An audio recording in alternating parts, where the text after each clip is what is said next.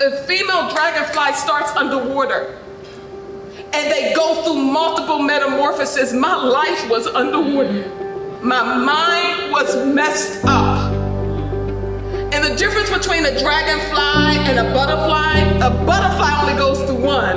A dragonfly goes through multiple. And I had to go through all of these changes in my life to reshape my life. But the dragonfly goes through multiple metamorphoses. But it don't stay underwater. And I didn't stay underwater. And you won't stay underwater. That dragonfly comes out of that water. It clings to that tree. It sheds all of that stuff. Everything everybody said about you made you think that you wasn't beautiful, that you wasn't pretty. Nobody's gonna want you. You would never have this, you would never have that. All the names people called you, all the things they said about you. Listen, some of us hide behind our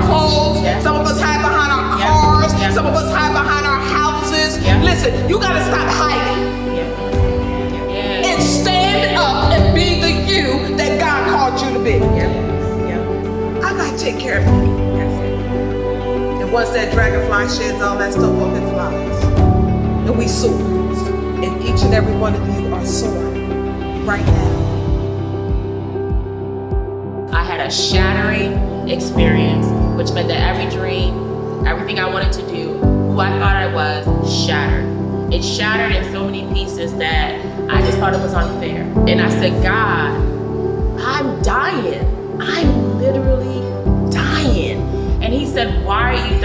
said, Because I'm trying to do and be everything that these people want me to do and be. And I don't feel like myself.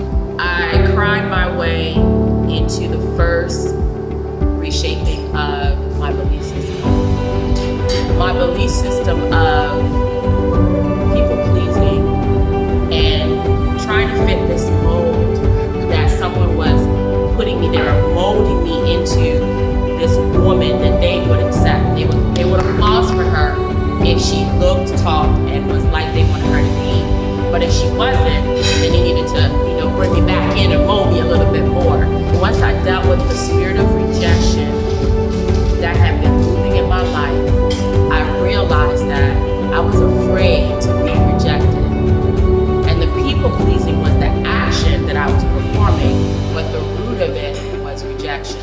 So getting to a place where I was like, oh, ooh, they upset. I let that person down. I let that person down. I disappointed that person.